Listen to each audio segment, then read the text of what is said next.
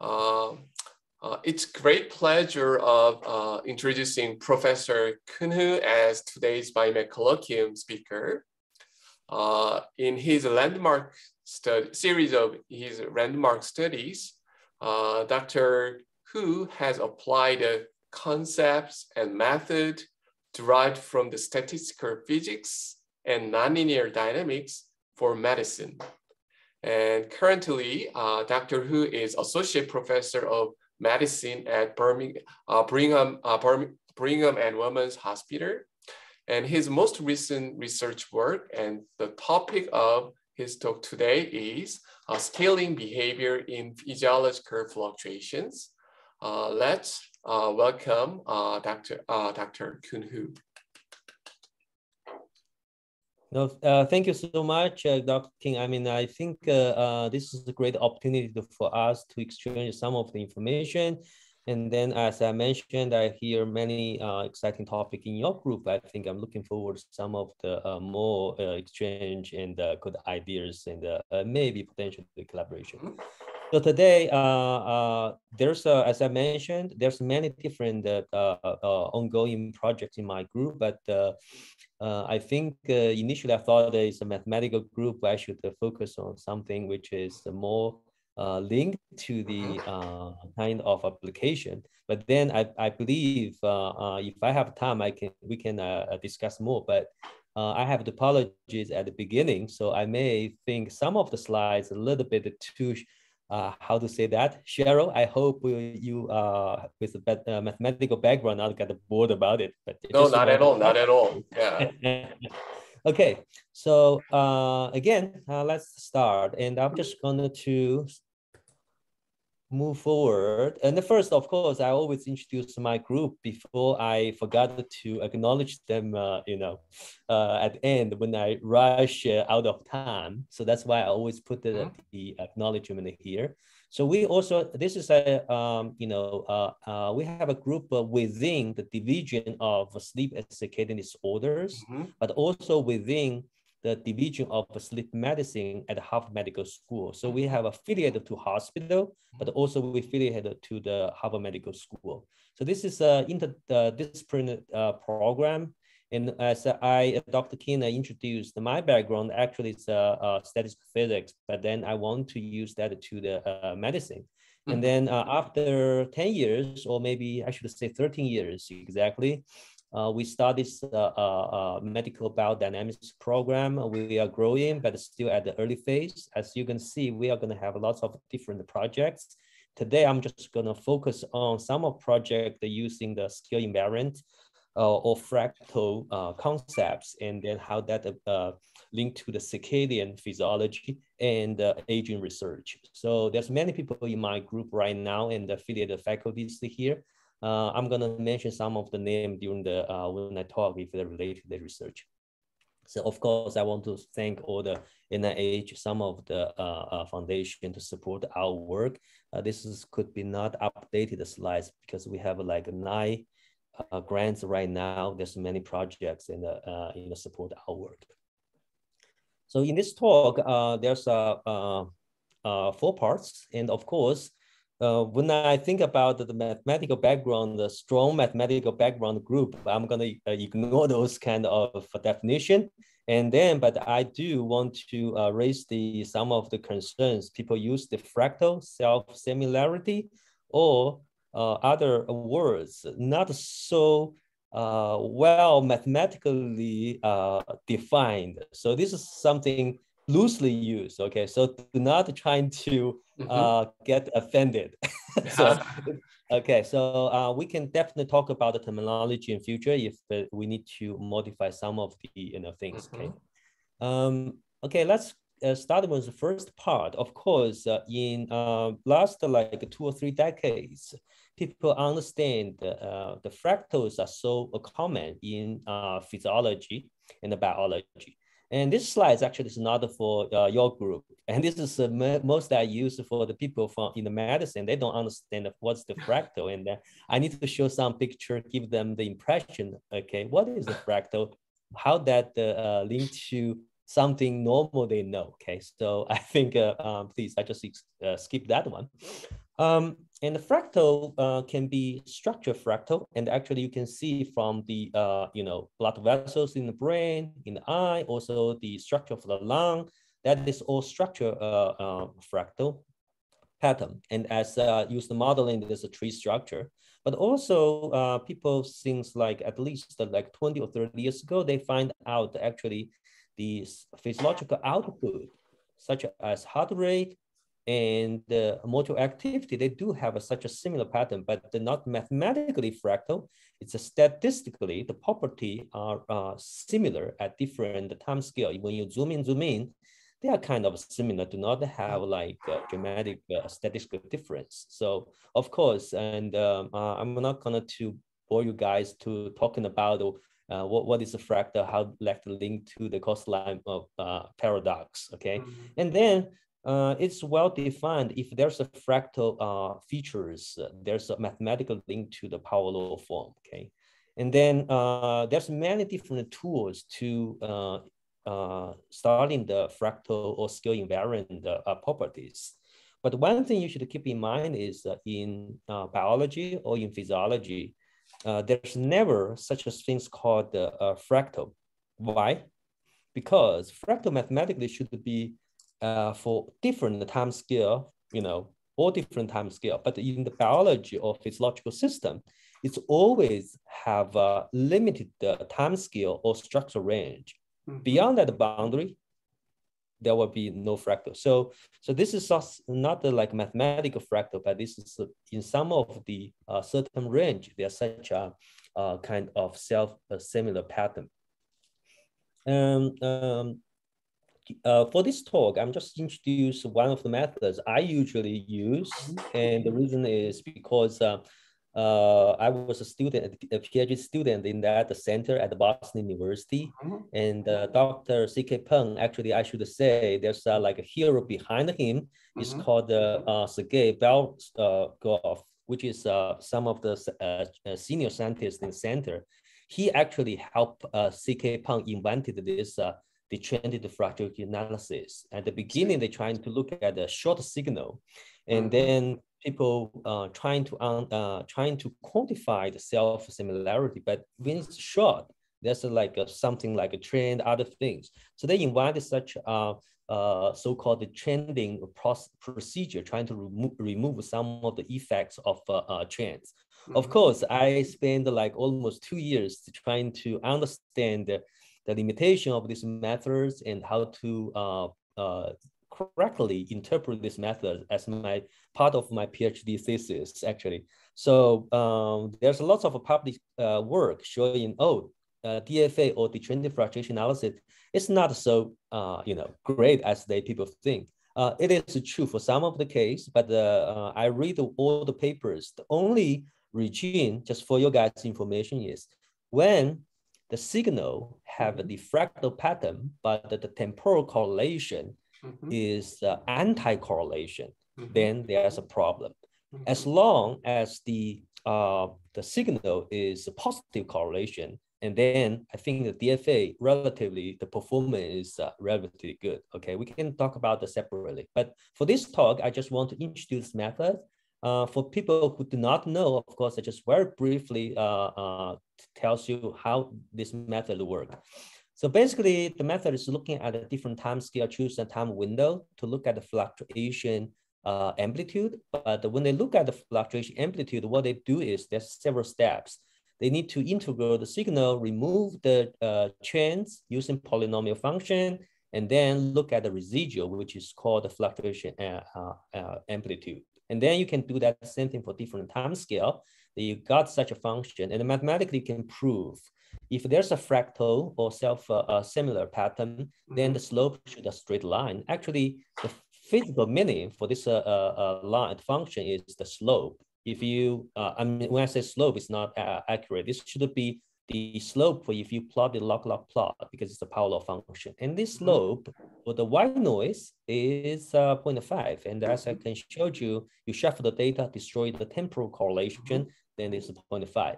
But for many physiological signal, uh, the alpha or this slope, we call it scale, uh, uh, scaling exponent is around one. Okay, it depends on uh, which system we're talking about. And then this is some of the uh, things we need to just keep in mind. Mm -hmm. So, okay.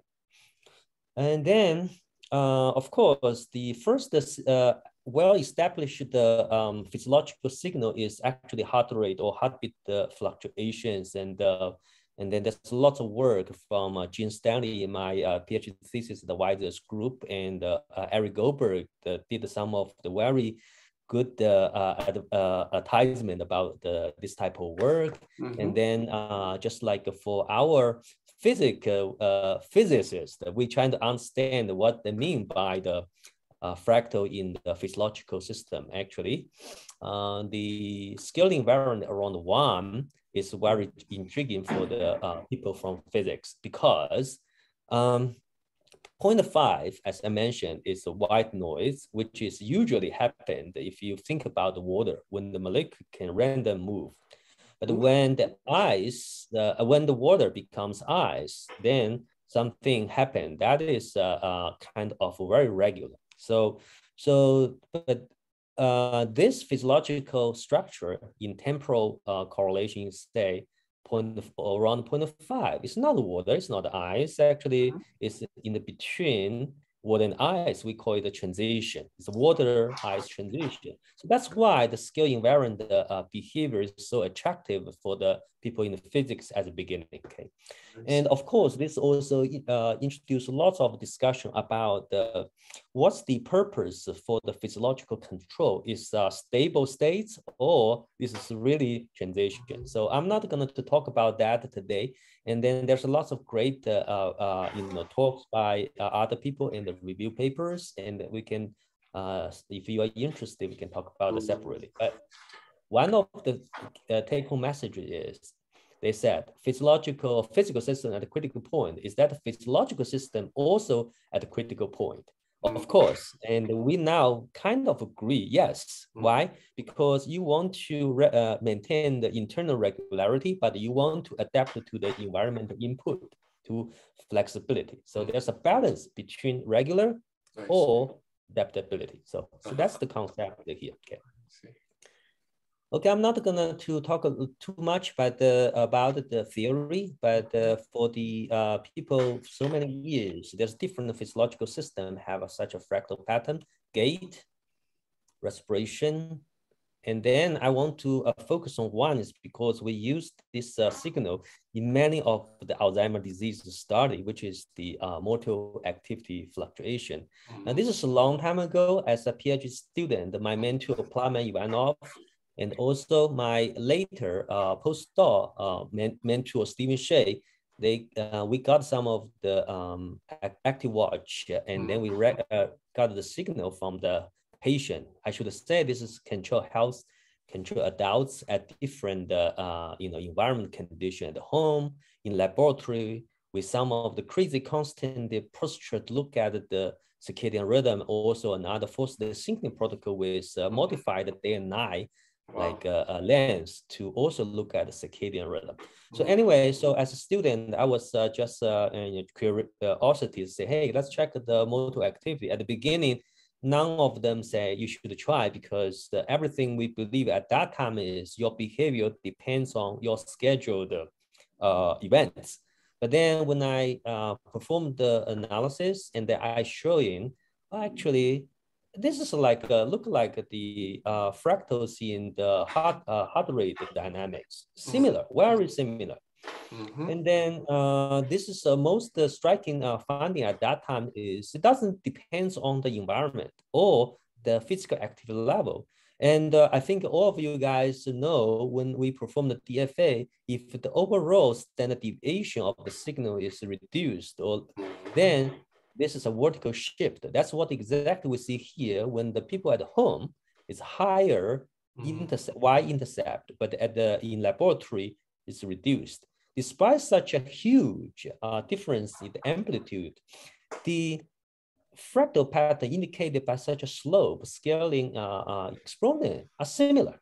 Okay, so this is some of things which we at the beginning we uh, say, hey, is that the fractal uh, some artifacts by the device, by anything. If this is the case, what about the heartbeat interval? There should not be some artifact there. So we did some of testing. I'm gonna to not gonna tell you the details, but we put the device on different place, mm -hmm. elevator, rotating table, and then we found, oh no, actually not that case. In most of the case, uh, we find that the slope for those uh, are 0.5. So, mm. so we are, we are so confident that time, this is really something intrinsic, but we cannot prove it until you tell us people what is the changes? Can you see the changes?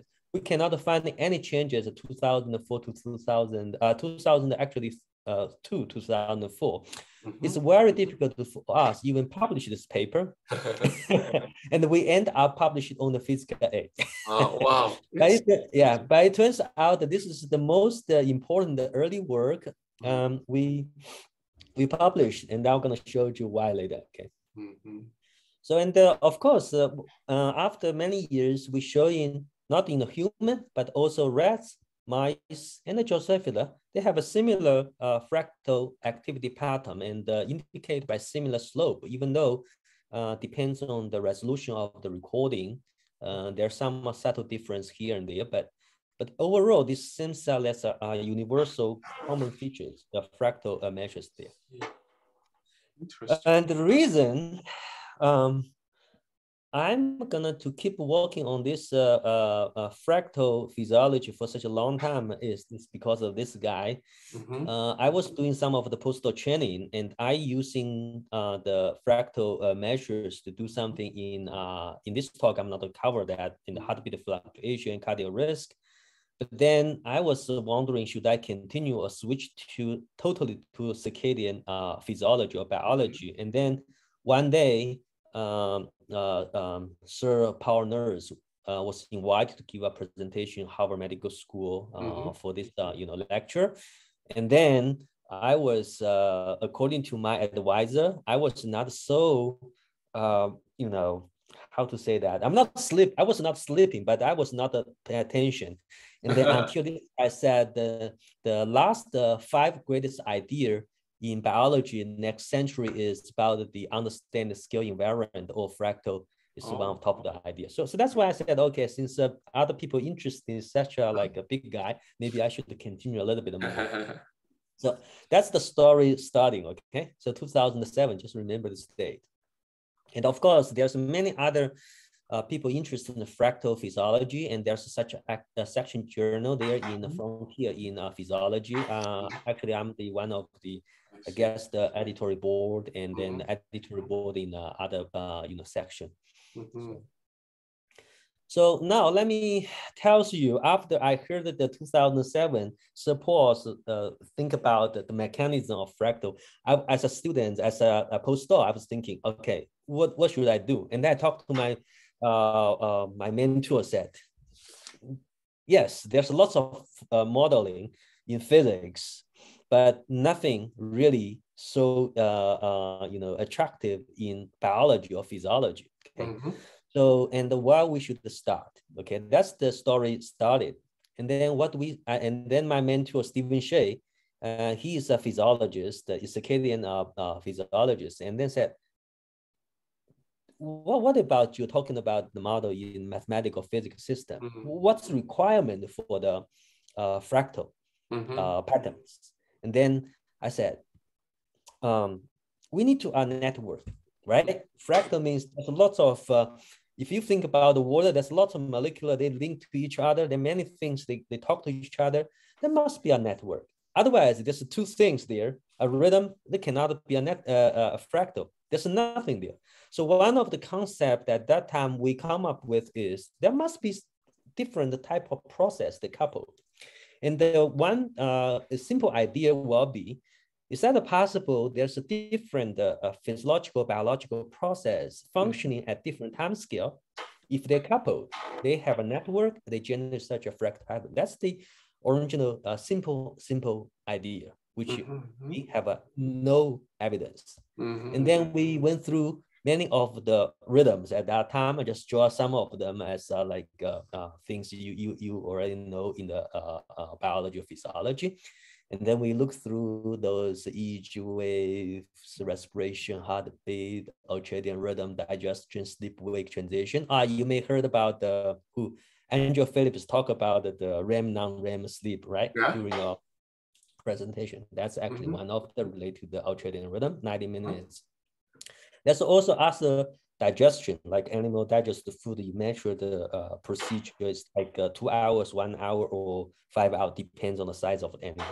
And then, of course, since I'm in the division of sleep circadian disorders, the most uh, attracting uh, things for us is the circadian rhythm or daily rhythm, which is uh, well uh, things, and there's much much more. Okay, and then uh, we said, okay, if that's the case, is it possible really circadian system also involved in such a like a fractal regulation? That's how we have no idea, but we just hypothesize that's the network picture, and we did that.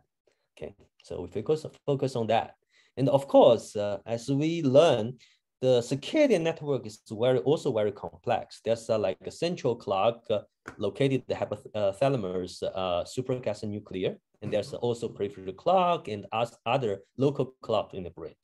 But we have a good idea about the SCN is really the hub for the network and is uh, really for the adaptation to the day and night pattern. So that's that's what we started to uh, think about. Okay, let's just do something very simple, use animal study. So what we do is we look at some of the data. Our colleagues do some animal study in Amsterdam and remove SCN and check the uh, circadian rhythm at that time. But we said, let's took, look at the fractal pattern. Oh. And turns out it's very dramatic difference. Like rats in the uh, SCN intact is great, like human have such a beautiful fractal uh, pattern with slope uh, uh, around uh, 0.9 or 1. Oh. But after SCN lesion, then what happened we can see is the dramatic effect actually is a large time scale, I greater see. than about two or three hours. We use four hours cut off at that time. It's become totally white noise. I Mhm. just remind you if the alpha uh, 0.5, that means white noise. So, so this is the first, I would say, not the con, uh, only um, how to say that the quantitatively changes, but it's qualitative changes. Mm. It's really becomes white noise at large time scale. But of course, at a small time scale, there's still some of the uh, changes there, but uh, which I'm gonna to uh, uh, tells you a little bit uh, later. But the uh, idea is at that time for this uh, arrays, they do not have other changes, but only the SCN lesion. Actually, this slope actually increased a little bit, not uh, too much, but significantly increased a little bit. Mhm. And then starting the point, we, we think at that time, we think this is very exciting. And then we got the paper published, and what's next? Okay, what's next? And the people asking me at that time, oh, is that means, of course, not from people from mathematics, okay, or physics. You- Uh-huh. You guys were not going to ask this question, but I got lots of questions asking me, uh, okay, so you remove the SCN, you remove that, the fractal changes. That means at the large time scale, fractals like the daily uh, rhythmicity. So I'm just let you know, I said, uh, mathematically, they are quite different. How can you think about that way? And then they said, oh, maybe physiologically, they are kind of equal.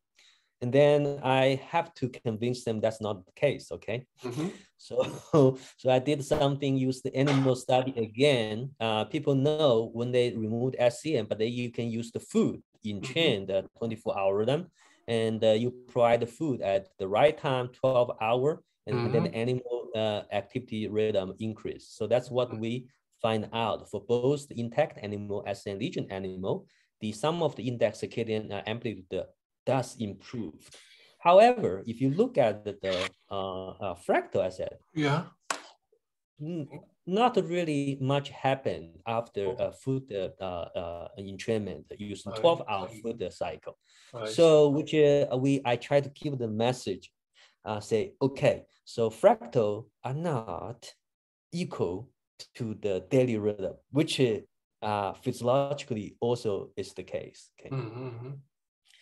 And of course, uh, then later we trying to uh, ask more question about how the uh, really what's the origin of this fractal pattern in motor mm-hmm. activity. We mm-hmm. not only look at the SCN, but look at the, DMH, dorsomedial hypothalamus nucleus, mm-hmm. which is one of the important the nuclear to convert SCN impact on the uh, motor activity. Okay? And then actually, uh, this is very exciting uh, features at that time. What we find is very uh, interesting. When you remove the DMH, the pattern also changed, similar like the SCN, but at large time scale, the uh, correlation property is not uh, like white noise. It's towards white noise, like mm -hmm. 0.7 the slope, but not goes to uh, very close to 0.5. However, if you continue to remove the SCN, this do becomes around 0.5. Mm-hmm. So this is something tells us there must be some of the either mm-hmm. uh, uh, neuron circuitry to pass through the connections through SCN DMH and impact the uh, motor activity. But then it triggers uh, more questions actually, right? And uh, Mathematically, if you think about the one A, B, C, that uh, the final outcome is the fractal uh, activity pattern. The A is SCN and the B now is DMH. And we're thinking, well, what's going on? Is that just because of the SCN generates such a pattern through the uh, one of the DMH and it goes to the motor activity and SCN also project to other place go there. Is mm. that the, the case? So and then this picture actually was going to, um, well, uh, I think I include a little bit more here. Let me, since I think you guys have mathematical background, this is some something uh, really puzzling me. Let me let me uh, give you uh, such uh, things. Mm-hmm. If it's confusing, just forget about it. So uh-huh. one thing at that time, after we removed the DMH, we uh-huh. uh, did something else. What we did is uh, people at that time were interested in so-called the food anticipation animal. So in other words, if you give the food at the same time for mm-hmm. several days or one week, mm-hmm. the animal trying to remember the time of the right. food available. Yeah. So that happened is we call the food anticipation. And you can see here, when you have the food restriction, the animal gonna have a increased activity before the food available. So this is something very physiological or biological, uh, mm-hmm. you know, hot, still hot topic. I think they're still arguing what controls such a food anticipation. But one thing I want you guys to help me is uh, you can think about is mm-hmm. uh, regarding the modeling of the fractal uh, pattern in the mm-hmm. activity is. Rem- remember I said, remove the DMH, reduce mm-hmm. the fractal, remove the SCN, completely abolish the fractal pattern large time scale. Mm-hmm. However, if you do that, use the food anticipation, food mm-hmm. restriction protocol Mm-hmm. What happened to those animals? So this is something which are very, very tricky. I don't know how to, uh, you know, understand that. First, if it's intact animal, really it's a slope is straight line. Mm-hmm. But you use something called the food restriction, which means food only available very like two hours or four hours there. And then this time cue against the circadian uh, rhythm, right? Mm-hmm. They, they force the animal to be active. So and then if you look at those animals uh, go through the uh, food anticipation or food restriction, you can see oh. actually the fractal pattern changes, degraded, which is expected. Why? Because you introduce the time cue conflict to the endogenous circadian rhythm, which mm -hmm. I haven't showed you uh, in the animal study. They use the same other things also can perturb the uh, fractal pattern. Okay, like a shift work or other things. Okay. Mm -hmm.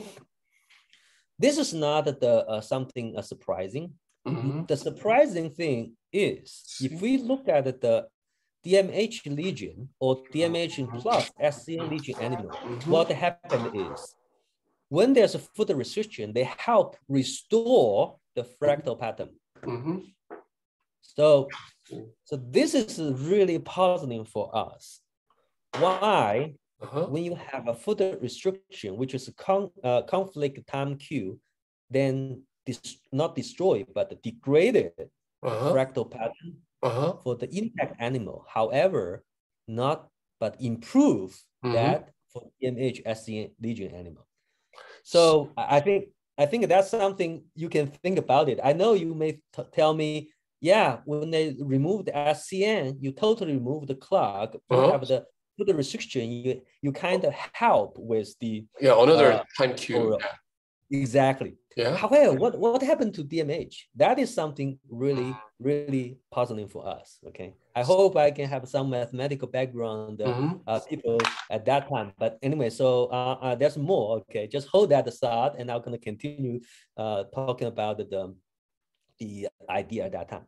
So then people, and we ask, is that possible SCN generate all the fractal pattern? Of course, you already know my answer uh, Mhm. from here. Maybe not not like like that, but but that time we, we ask this way.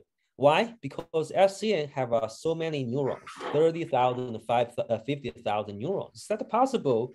The fractal all from the SCN itself, and then to uh, pass to the DMH other place. Okay, that's the kind of a concept at that time. We did such a study with um, uh, Joka Meijer at Uh-huh. Netherlands, uh, look at the uh, in vivo and in vitro SCN neuron activity. Okay, so the concept is very simple. If it's possible, everything from the SCN, then we measure the SCN neuron activity.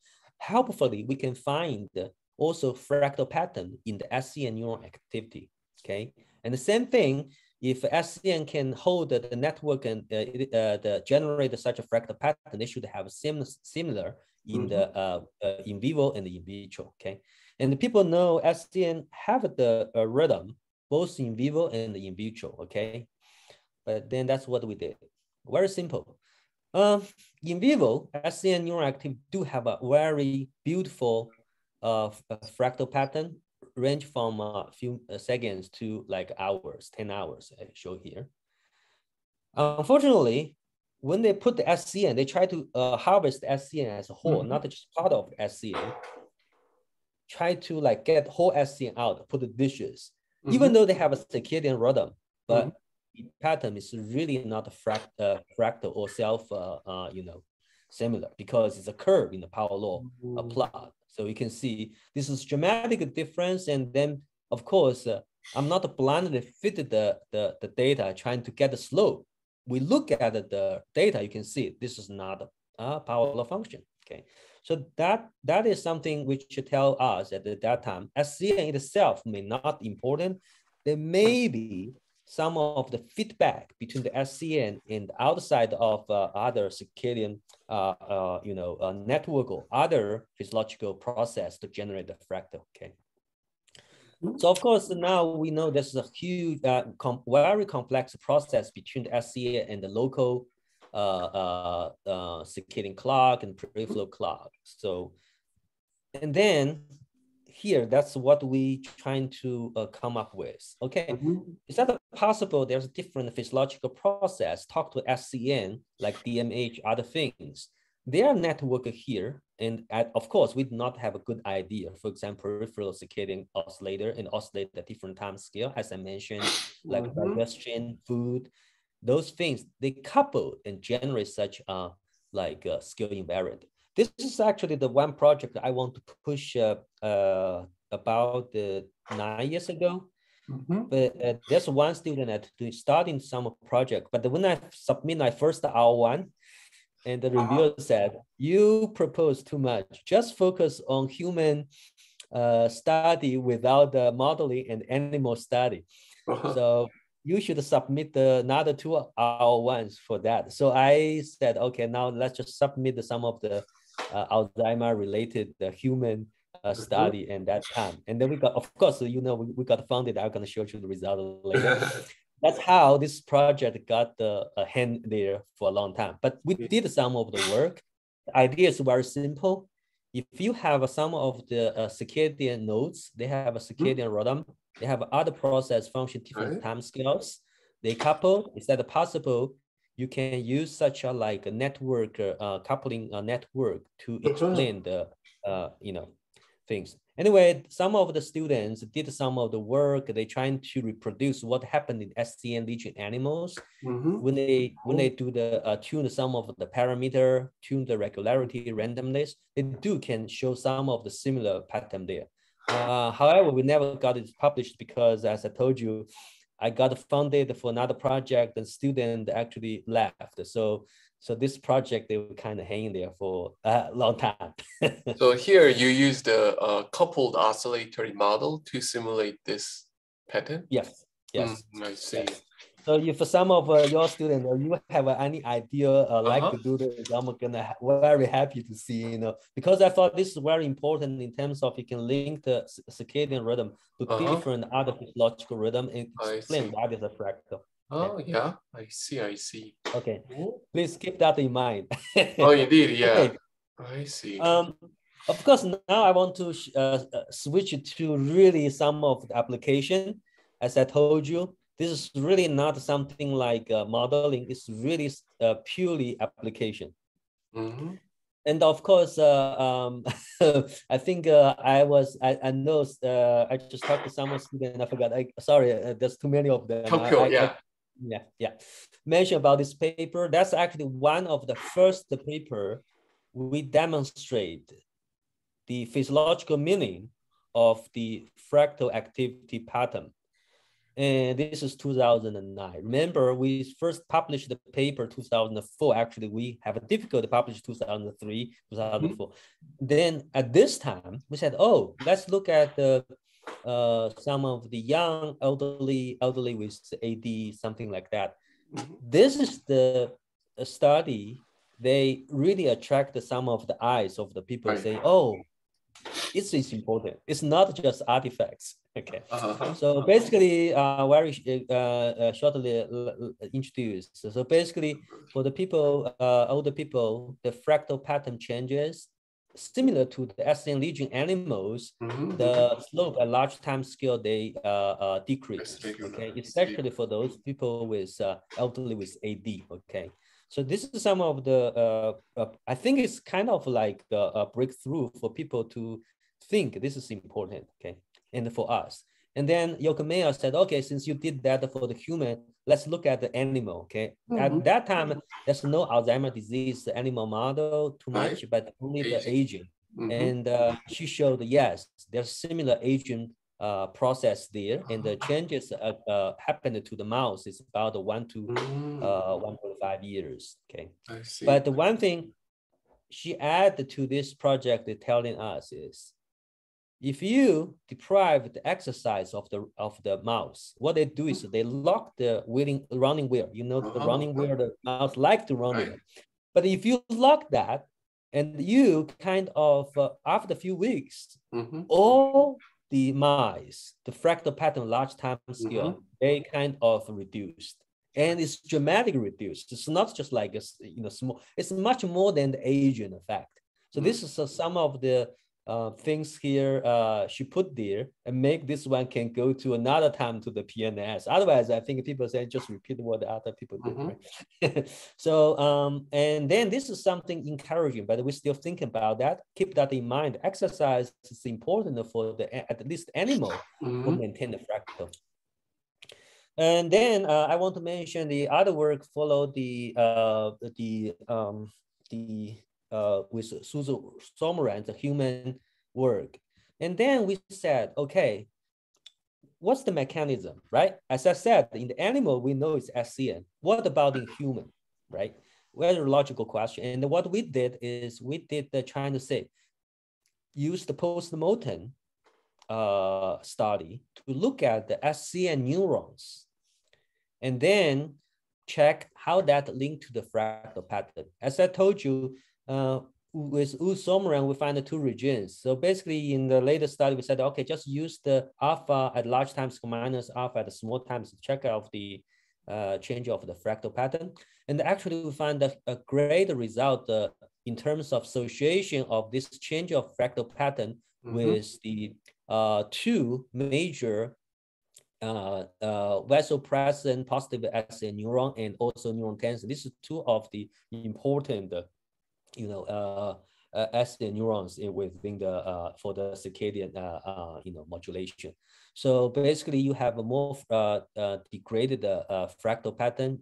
The neuron numbers are smaller. Okay, and at that time, this first time also we prove there's some of the mm -hmm. association between the fractal pattern changes with the AD severity. They use some of the occipital, some of the stain to look at mm. the, uh, the association. But this is a really small size of the uh, uh, study. And also um, what the dramatic uh, uh, message for me is the fractal measure, this fractal measure are more associated with the neuron changes within the SCN compared to, I think it's a seven other circadian measures combined.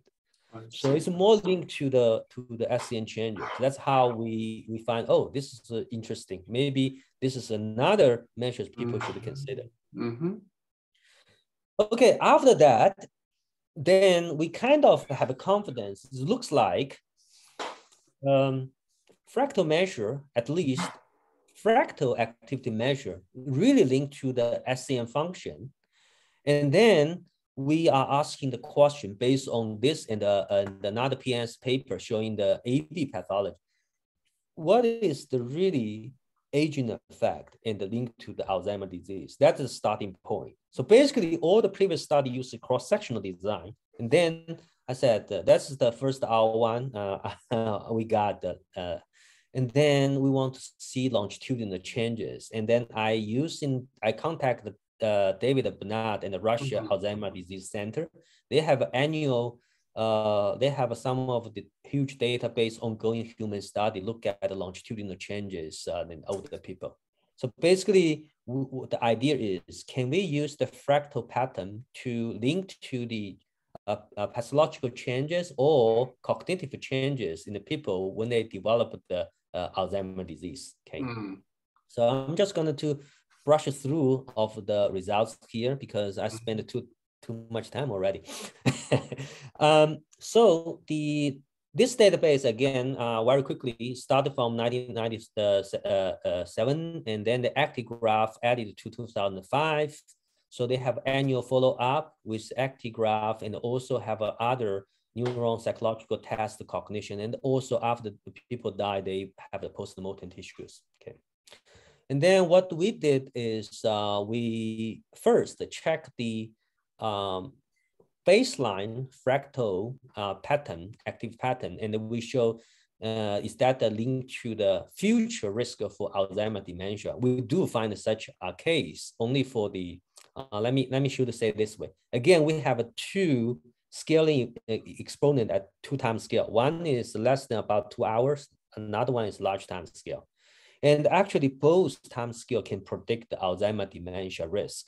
However, usually people control for the age, sex, education, many, many other variables. Mm -hmm. For the uh, large time scale, the scaling exponent greater than about two of the uh, three hours is so strong associated with age. Every time you put age there, uh -huh. the effect will be gone. -huh. So it turns out only alpha one, for some reason, after you control for the age or many other things, they still can predict the future risk for uh, Alzheimer dementia. So, so this is something which is uh, also very uh, uh surprising, but also uh, intriguing. You can think about it. Before, the half of my presentation talked about the strong effect is the alpha uh, large time scale scaling environment linked to the age and dementia. But now suddenly I switch to saying actually at small time scale, even though it's so robust, but then subtle changes, they predict the future, okay? Mm -hmm. So, and also, of course, we confirm also this uh, small time scale, less than two hours uh, scale invariant also predict the uh, mild cognitive impairment, okay? I'm gonna go through. And then we check many other uh, conditions like frailty, disability, and even mortality. We show I'm, I'm going to go through very quickly because I want to save time mm -hmm. to mm-hmm. talk about some other things. So basically, the alpha one always uh -huh. predict the, all those uh, uh, uh, uh health outcomes, which is uh-huh. risk of for the Alzheimer disease. And also we showing the alpha one also linked to many of the MRI like gray matter volumes, you number of the regions this is the regions all already after control for the Bonferroni. If you do not do that, it's a huge wide region uh, uh, gray matter linked to the fractal, uh, you know, uh, alpha mm -hmm. values. Okay.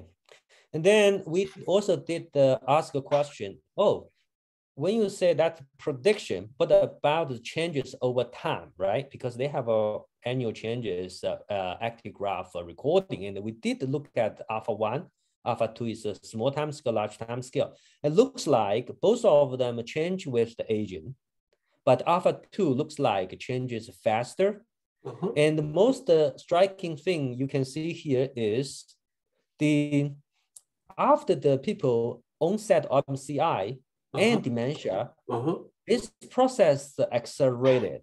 Okay, this is also more triple uh-huh. alpha one and alpha two.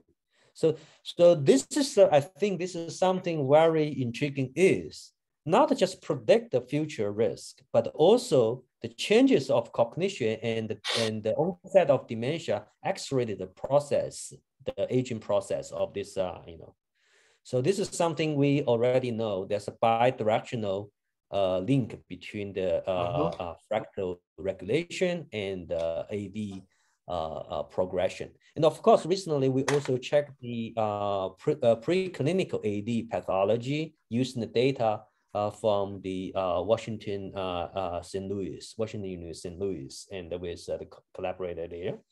And this is something very new last year, maybe, I forgot. Oh. I, I forgot to re, uh, revise these slides. Anyway, what we find is if you use that the difference between the two alpha, then that does link to the uh, some of the, uh, for example, the uh, AD pathology, even the people are cognitive from normal.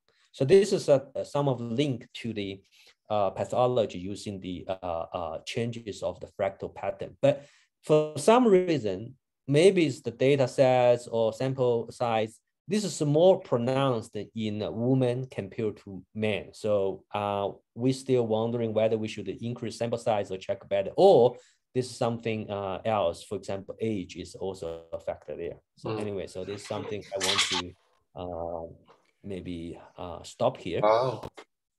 So I, I want to just want to con convince you in mm-hmm. this talk, I only focus on the fractal, but actually we did a lot of work uh, using the other circadian measures it looks like the circadian measures, uh, uh, many of them also can predict the, you know, the dementia and also uh, progression of the Alzheimer's disease also can accelerate the circadian measure changes. Mm-hmm. But the mm-hmm. fractal seems very unique in terms of you can control for other measures still significant.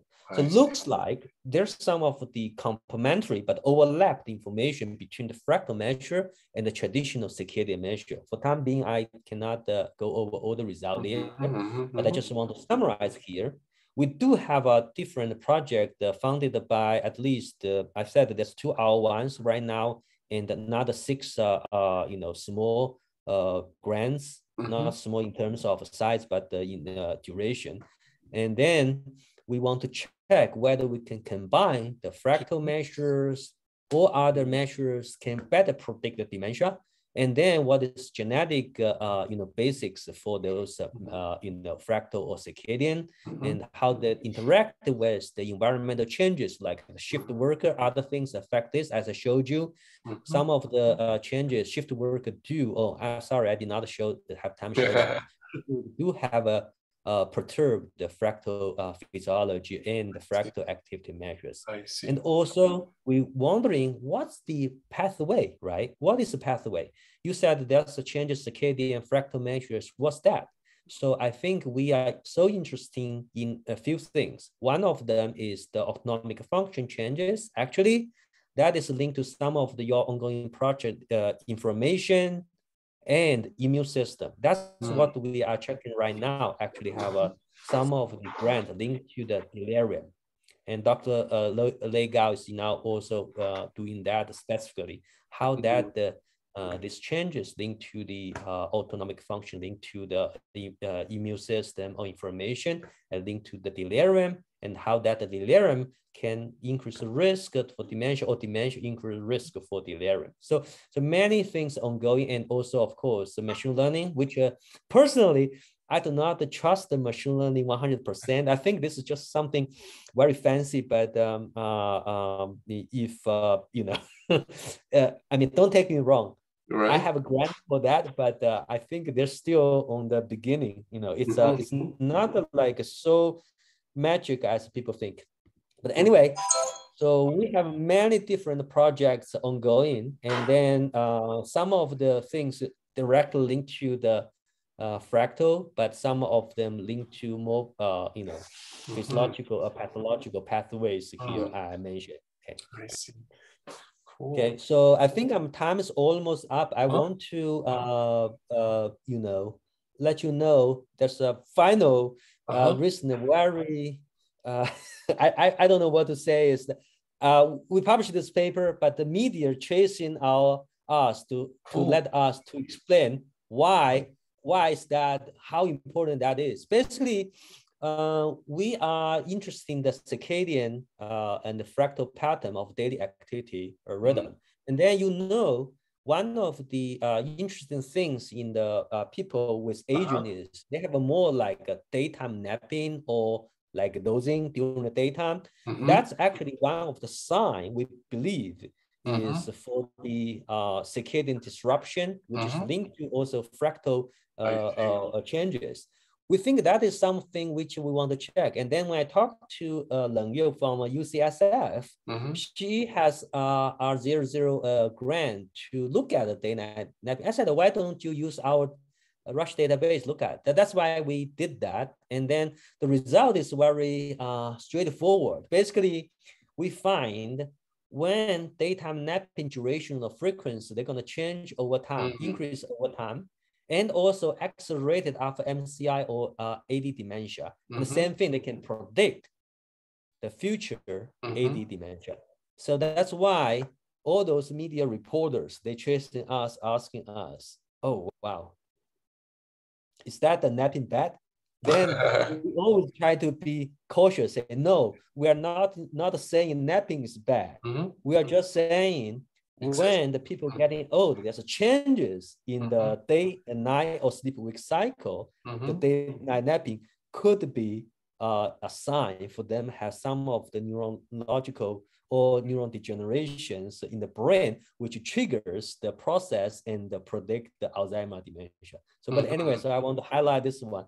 And still, um, it's published only a few weeks, and then people oh. still sending uh, uh, email asking us, can you do something? And uh, and you know, so so this is uh, according to them, they said this is the most uh, uh, hot topic after COVID. You know, when right. the COVID, they have some media report lots. But mm-hmm. anyway, I want to just tell you guys there's something here. If you have ongoing study, we should look at that. Yeah. okay. Cool. Um, wow. Yeah. The other two things I want mm-hmm. to mention is um.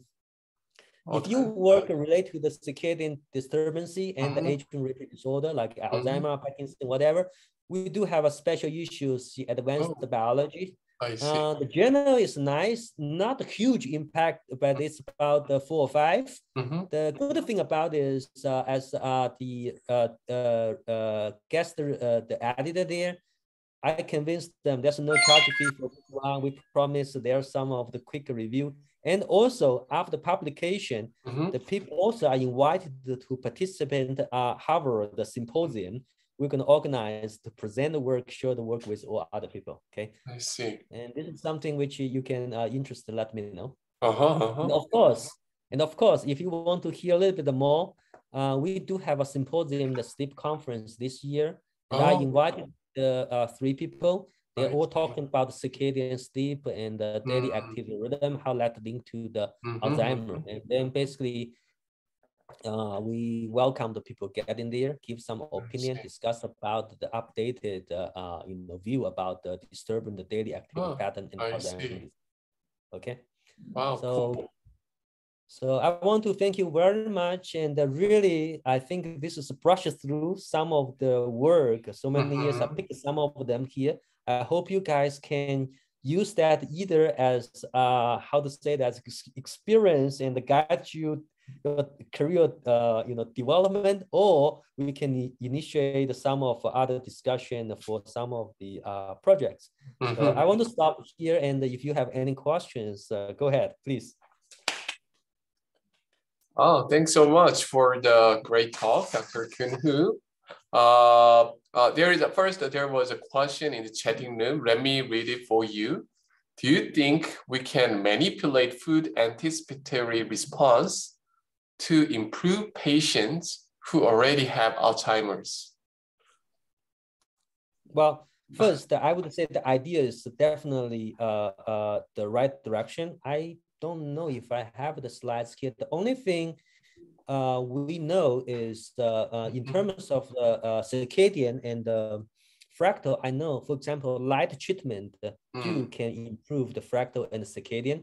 Mm -hmm. And then in terms of Alzheimer's disease, I know people trying to do that. I think mm. the the challenge is you have to really control many other things. -hmm. And then the, I like that this question is, yes, food entrainment is really something which can help you to manipulate the circadian system, mm-hmm. to help the entrainment, and potentially to improve uh, many biomarkers mm-hmm. for the uh, Alzheimer risk. But again, I I should say um, I don't know the answer. I don't know. Uh, you know, it's a it's like a, could be like causal relationship between the circadian and Alzheimer. Uh, but I think people should try that. Actually, at least look at some of the data, right? Mm-hmm. Look at the food and the daily food intake and see. But right. I do have some evidence for that, though. For example, uh, timing of the food affect the glucose control, insulin, other things, and that's linked to the vascular uh, function and also diabetes, many other things, which is all risk factor for the Alzheimer uh, dementia, mm-hmm. right? So so in, in that sense, I do believe mm-hmm. there's a hope there using the food as uh, an entrainment. Okay, cool. Okay. Uh, and, and then uh, there are two, okay, maybe uh, Hyokpyo, you can go first and then Jinsu. Uh, probably I have uh, tons of questions, so I, oh. it is better to go first for Jinsu. Jinsu? Okay, yeah, Jinsu, do you want to go first? Uh-huh. So yeah. Uh, Please introduce you. yourself, Jinsu, first. Oh yeah, yeah, yeah. Thank you uh, for a very interesting talk, Dr. Hu. I'm a assistant professor at POSTECH, and my name is Jinsu. Mm -hmm. um, yeah, good to see you. My question is, I, I thought the fractal, fractality can be interpreted as also uh, predictability. So if a given time uh, series is fractality. I think if we only monitor the short time scale, and we can predict the how the time series behaves in longer time scale because they have the same structure. Uh-huh. Is there any okay. such direction to study something? This is a, some something which I, I really like the question because we ask the same question ourselves. But uh-huh. as I mentioned, um, it is possible when you have a good fractal, Mm-hmm. You have a straight line, you, you are the same. But mm-hmm. when there's a pathological changes, you don't know which yeah. part can change faster, change slow. Mm-hmm. Actually, I showed you only alpha one, alpha two, which is uh, separated by the uh, around two hours, which mm-hmm. is actually arbitrary. And actually, we now have another paper still under review. We're trying to look at actually, in, very interesting. I don't know what to uh, to to tell you relate to your question, but one for your question is, the changes of alpha at different time scale mm-hmm. could be quite different. We mm-hmm. what we show here is even though I said alpha one below two hours, mm-hmm. if you look at the, the, below two hours, the changes of local slope could be different for less than 10 minutes from 10 to, mm-hmm. so that's why uh, I think uh, uh, your question is relevant. And however, we appreciate that one. We ask same thing. Why? If you have a very short time scale, you do not need recording such a long time, right? That's your point. And we yep. said the same thing. And actually, the good news for you is internal, is confidential, is for some reason, we find the fractal pattern less than 10 minutes, around 10 minutes, can already predict the, uh, the uh, Alzheimer dementia. Hmm. Less than 10 minutes. Mm. However, we haven't the system to check how many how many uh, signal you need, how long to get the 10 minutes, mm. right? In order to uh, rely, get a reliable result. So I think this is some of the question we can, uh, maybe uh, next time you have a chance, I can show you some of the new results. We can discuss more. Yeah, but very important question. Thank you so much. Good.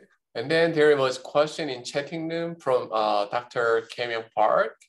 Uh, in a biological sense, what could be tuning parameters and order parameters that uh, leading to fractal fluctuations, like uh, considered as a critical point? That's his questions. Kind of, I guess he's asking that there is any some source of such fractal fluctuations. Uh, I think if you're asking about from the physiological or biological point of view, mm -hmm. Uh, this is still, as I mentioned, uh, I tells you some result, but actually we are also challenged. What's mm-hmm. the sources? Why there's such a fractal, right? Until now, we we haven't get any physiological meaningful model mm -hmm. for the fractal. Mm-hmm. Uh, you know, at least uh, in this case, we show you that's linked to circadian, but circadian is only looks like a response for large time scale. But what about small time scale? I want to uh, trying to uh, give me some, give you some of my hypothesis or speculation. So basically, you can see all the results indicate circadian is linked to large time scale fractal pattern Right. But they do somehow change a little bit the small time scale. However, mm-hmm. the small time scale is so sensitive or can predict all the risk instead of uh, large time scale. Why is that? But large time scale is linked to the agent, very tightly linked to the agent. Mm-hmm. So what I'm thinking is, for example, if you think about the, your movement, mm-hmm. spontaneous movement, right? Not the not the control uh, that's one thing I need to focus. I need to uh, focus uh, mm-hmm. to, I forgot to mention, trying to get the spontaneous uh, movement. But mm-hmm. if you really control that, of course, you can destroy all those fractal patterns, by the way, okay? Mm-hmm. So spontaneous uh, uh, movement, what's that tell us? That tells two things. One is your movement is linked to what your maybe some of the process linked to the cognition. For example, I want to do something. There's a, like a memory I will do here and then. There's some of the small changes. That is some of the result. I mean, the I hypothesize speculation again. Your cognition control your motor function, mm-hmm. tells you what to do. That is linked motor function and your mm-hmm. cognition, mm-hmm. and that is some one of the hypotheses, actually Aron Buchman in Rush, they said motor function is mm-hmm. one of the region mm-hmm. actually mm-hmm. linked to the Alzheimer dementia. So control of the small movement relate to some of the neuron degeneration of the Alzheimer disease. That is why I believe we saw at small time scale more predicted the Alzheimer dementia. And the, the resources in uh, mathematically, uh, only, honestly, uh, I think I, I do not want to tell you using, uh, what's that name? Dr. Uh, uh, Tang Cao, right? Mm -hmm. uh, he gave a presentation in your group talking right. about the scale invariant. So he's the person who developed such a physiological model mm -hmm. to samply how that, uh, you know, uh, uh, create a fractal. However, in physiology, I don't know. you know, that the transition will come from yes. physiology. What I'm thinking is about maybe there's a different uh, physiological process at that specific time scale. Then if they decouple that, then they make such a uh, something a change uh, a transition like what I mentioned about the the network circadian oscillator and ultradian oscillator, if you do decouple them, they do have such changes at uh, mm. around two to four hours. So sorry, I my explanation is not so clear because I'm not so clear about the answer. I just give you what I uh, believe or speculate. Okay. So Dr. Kun, uh, who uh, relate to this question. So my one question is for the shortest time scale, longer time scale has the same slope for the same alpha for the normal person. Yeah. Uh, but it looks like the source of that alpha regulation looks like different. Longer one is circadian and maybe another shorter one could be something else. Yeah. But, but I'm curious how that slope R turns out the same in the short and long yes. scale. And then yes. second is what could be the benefit of by matching those two alpha one and alpha two? Uh, uh, uh, what's the second question? Uh, First question. What would be the benefit of the kind of in the normal person? They they are trying to matching the alpha one and alpha two slope, right? Yeah. Okay. What, what so, could be the benefit? Yeah. Yeah. Yeah. This is a, this is definitely a very deep question. Honestly, why we have a fractal? Basically, that's the question, right? right? Yeah. Yeah. And uh, and if uh, that's one, if you said one thing control at large time scale, mm -hmm. 24 hour round, 20, another one is five hours or two hours or minutes, why they want to have a fractal, okay? Mm -hmm. So there's some of the theory behind mm -hmm. is, uh, for example, even though these two process, they are kind of function at different time scale, think about it you still need to have uh, some of the arrangement in terms of, for example, you have 24 hours, you have five hours, right? Mm-hmm. But somehow you do not want the five hours destroyed 24 hours. They need to couple. They need to have some of kind of transition. The amplitude need not be too strong.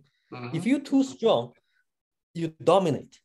Mm-hmm. Resonance, you dominate. You do not have adaptability for something else, I right? See that's kind of the things at the beginning uh, people hypothesis why there's a fractal because you need to response and you need to regularity. Mm-hmm. but once you too regular for example you have i have a 24 hour rhythm i cannot change at all but i have another five hours suppressed. That is bad for that uh, physiological function if there's something changing right? I so I think if you think about that way, the fractal must be some of the arrangement agreement between different uh, functions the kind of okay let, let's do this way. So you're not too strong. I'm not too strong. We, we organize this way. You can like uh, pass the information or arrange it so that's the some of the theoretical things from the other uh, physical oh, system and other things. Yeah. So maybe so alpha may have a goal, yeah. yeah. Maybe alpha one might be the optimal uh, for the uh, fluctuation and robustness regardless of the time scale i guess. Right right yeah. Yeah. But once you change, then could be you change the large time scale, the nodes and the perturb there, but you may change the small time scale nodes and then mm. change it different. So that's why it's very complicated when there's a pathological condition. You do, you cannot just change check one place. You need to check uh, what is the time scale, and then you can identify what's the underlying physiological oh. biological functions, and then link to future treatment, other things. Yeah. Okay, cool. And then oh, now final uh, uh help you finally. Okay. Yeah. thank you. Um, uh, thank you for the uh, really interesting talk. Of course, uh, many figures are really friendly, but I'm I was really excited to hear your opinion or interpretation about it because I have read only the papers, so it was really helpful and great. Actually, I have been tracking every paper you publish it about fractal analysis. And it appears that sometimes you care about uh, shorter time scale fractal patterns or, and sometimes longer time scale and sometimes the difference between two time scales. And yeah. even for the, how can I say, uh, phenotypes. So you sometimes care about the severity of dementia or disability or frailty. So is it correct if you're uh, if by saying your point of view keeps changing? And the second question is how how far do you think this is uh, from the consensus? Yeah, so I think you asking uh, very good questions, and then um, this is the reality, and this is uh, um, uh, some of the uh, how to say uh, linked to the our limitation about the, the underlying mechanism control the fractal. Because as you said, for example, we use alpha one, alpha two, and then sometimes use alpha minus alpha two, right? So uh, there's a there's a two reasons for that. I I should confess. Okay, first, um, usually when we uh, present the work and uh, when we write the paper, we trying to uh, uh, uh, shows you the geometric effects, which is uh, with uh, more confidence, right? For example, in animal SCN lesion animal study, we focus on alpha two, but we do just mention one sentence, the hey, alpha one do increase a little bit, okay? Even though it's not dramatic. But then of course you can argue, why don't you just say in uh, alpha two minus uh, alpha one minus up to that time. Yes, we can do the uh, the the reason is because at that time alpha two is really close to 0.5, which is so easy for us to just uh, separate them. Okay, okay, this is this is one scenario. And why we use alpha minus alpha two later, right? You ask the same question. Okay, and the reason actually I'm I'm, I'm going to tell you yes. Actually, in that case, what we find is contradict the results actually, mm-hmm. because some part of the result uh, uh, uh it's become only uh, uh clear later is alpha one, alpha two, both of them are changing, okay? And mm-hmm. then depends on how much they are changing, how much changing for each of them, depends on the, uh, the subjects aging. And then for some somehow alpha 1 minus alpha 2, for example, we checked alpha 1 alpha 2 separately, actually alpha 2 also. But for the predictor neuron degeneration SCN, it, for, for the reason I mentioned, because both of the changing, there's a different uh, mechanism. And then when you use combine them, somehow they give you more power to predict the SCN neuron uh, you know, changes. That's what happened. And actually, that is always the case for you starting the younger population, little, uh, relatively younger population, for some reason, alpha 1 minus alpha 2 is always more sensitive using the separate alpha 1 or alpha 2. So the reason is, um, uh, I've actually, I we have another project ongoing. It seems the changes of one over time may not same direction. I showed you only very old. What happened very young you do not know. We do not know. I think we have some preliminary data showing actually the alpha alpha 2 may may may you know not like a, you know changing you know, linear. They have something uh, maybe mm-hmm. even increase a little bit at certain stage and then oh, so so there's some of such a dynamics there which we do not understand and just because limited the uh you know uh sample size at that time we we usually you, you see is uh, uh, sample size related. You use alpha one minus alpha two for some reason, give you more power. Okay. okay. Mm. Yeah. So uh, of course I have um, lots of questions, but we can talk later in SRBR. And yeah. I'm really uh, interested in the uh, your circadian nodes modeling as well because it is I think it is the key to reveal the mechanism generating the fractal patterns. Uh, right, you. right. So uh, I think, uh, uh, yeah, thank you. uh, so there is a, a uh, one more question, sorry. Uh, so actually, a similar question with me. Have you considered it for Parkinson's disease? And actually, I'm also interested uh, in different category mood disorder patients. uh, actually, we we are actually there's a uh, one of the papers written not written yet, but in preparation. It's about uh, the Parkinsonism. I cannot say Parkinson, but